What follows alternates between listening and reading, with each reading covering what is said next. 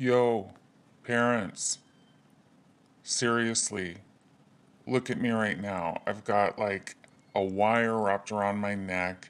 You're trying to trap me in this corner and you're trying to groom me. So I just want to let you know right now for the record, like I am so totally over this situation. I am a boy dog. I'm supposed to smell just a little disgusting. A cave dog. That's that's what I'm supposed to be.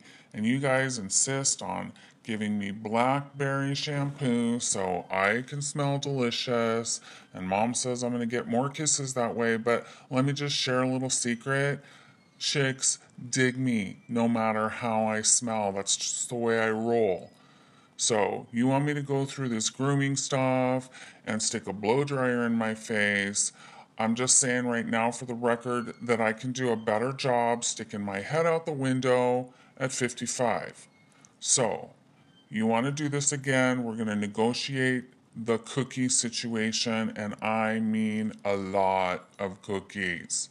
So for now, please take a step back, reconsider, listen to my requests, and when we get home tonight, we can talk about the options, okay? Capiche? We got this? All right. See you later. Woof.